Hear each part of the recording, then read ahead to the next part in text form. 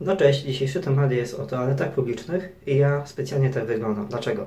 Wyobraźcie sobie, że przed chwilą wzięliście prysznic, nie macie ze sobą bluzki, macie ze sobą tylko i wyłącznie ręcznik, tak? No bo wiadomo, zawsze macie go ze sobą. I co robicie, jeśli jesteście przed jedynką? Robicie coś takiego, po prostu zakrywacie go tutaj i ktoś nic w ogóle nie zauważa, e, żadnej, żadnej, żadnej wypukłości, nawet jeśli jest powiedzmy coś takiego. Zawsze macie wiecie ze sobą szampon, cokolwiek, tak? Jakieś mydło czy cokolwiek.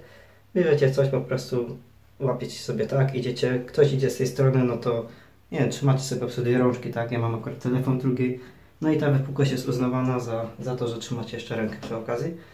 Więc yy, jest fajny patent, tak? Ja z tego korzystałem właśnie, gdy mieszkałem w Holandii i gdy prysznic był na dole, a czasem zdarzyło się tak, że po prostu moja błyska była taka i jednak było coś widać, tak? no więc wtedy ręcznik sobie dawałem, nawet jak był mokry właśnie, to sobie dawałem to najbardziej suchą stroną po prostu na klatę, no i nikt nie widział, tak? Nawet gdyby był właśnie problem z owłosieniem, a ktoś by zapomniał bluzki, no to jeśli macie długi ręcznik, spokojnie on wszystko zasłoni. Więc naprawdę nie ma problemu. Fajny patent. Warto, warto go używać, jeśli będzie jakaś taka awaryjna sytuacja.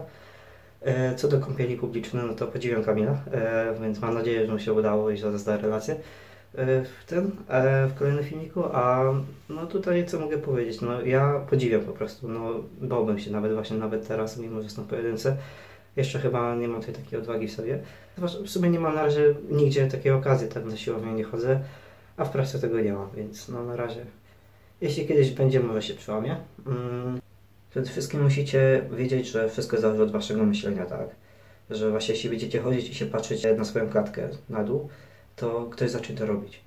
Bo to działa tak, że tak jak na zasadzie krzyku, tak? Jeśli ktoś krzyknie, każdy teraz się spojrzy. A jeśli tam się coś będzie działo, ale ten ktoś nie krzyknie, to mało kto w ogóle coś zauważy. I działa tam na tej samej zasadzie. Takie właśnie patrzenie, właśnie taka nerwowa reakcja e, działa jak ten krzyk. Jeśli będziecie właśnie patrzeć ze, ze strachem, oni to zauważą i zaczną się też na to patrzeć i myśleć, że coś jest nie tak. A jeśli będziecie, przyjdziecie sobie dumnie, mimo że w środku będziecie się gotować, to oni tego nie zauważą, tak? Więc musicie o tym pamiętać. I w ogóle, przepraszam, że ten obraz tak trochę się trzęsie, skacze na boki, ale to na razie ręka mi się po prostu tak trzęsie, a nie mam jeszcze żadnego trzymaj tego...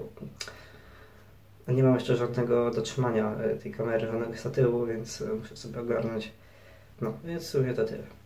I tutaj coś ładnego, w przeciwieństwie do mojej łazienki. No, to tyle. Cześć.